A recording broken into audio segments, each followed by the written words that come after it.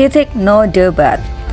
Jujur nih ya, gue tuh suka banget sama game bergenre fighting beat up kayak gini. Tapi sayangnya di era PS4 jarang banget ada game-game bergenre kayak gini, geng. Kebanyakan genre gamenya tuh kayak God of War, RDR2, The Last of Us 2 ya, yang emang lagi booming banget sih sekarang. Terus tiba-tiba muncul game bergenre old classic fighting beat up kayak gini, gila gak tuh? Bikin gue excited banget gitu loh buat main. Terus ngomongin pengalaman first playthrough-nya, gue sih jujur ngerasa game ini tuh susah banget guys.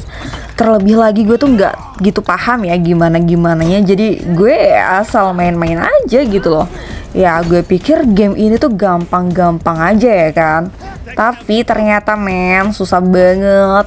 Bahkan nih ya gak ada loh pilihan difficult yang mana ngingetin gue sama game-game ala Soulborn dan lain-lainnya gitu loh. Lo tau kan game game kayak gitu tuh juga susah banget men.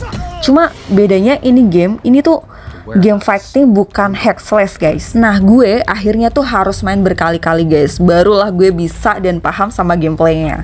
Kayak ya gimana dodge-nya, parry-nya, block attack itu ya menurut gue penting banget sih. Dan lo gak bisa asal-asalan men dan yang pasti sih lo harus bener-bener ahli ya. Jujur sih gue enjoy banget ya sama konsep game ini. Meski ya mix dengan fantasy Ya kayak tiba-tiba ada salju Tiba-tiba ada pohon bermekaran gitu loh Terus jatuh ke tanah. Dan terakhir Di mana karakter kita tuh bisa hidup berkali-kali guys Dengan menggunakan koin aja Gila gak tuh? Maksud gue mix dengan fantasi tuh ya bisa aja gagal ya kan? Karena bisa aja gak logis atau ya kerasa gak cocok aja gitu loh.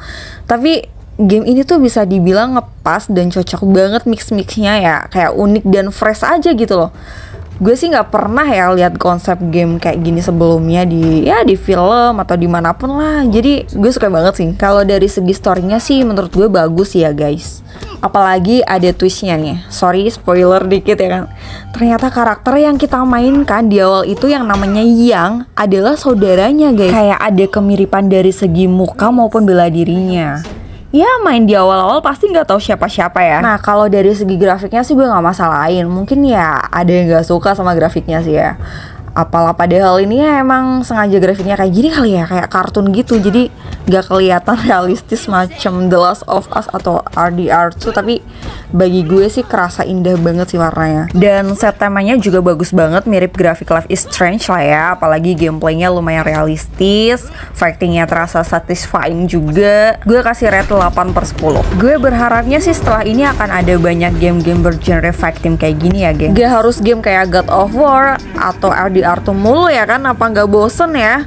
Gue malah kangen banget sama game-game begini. Jadi gimana menurut kalian guys? Helpless.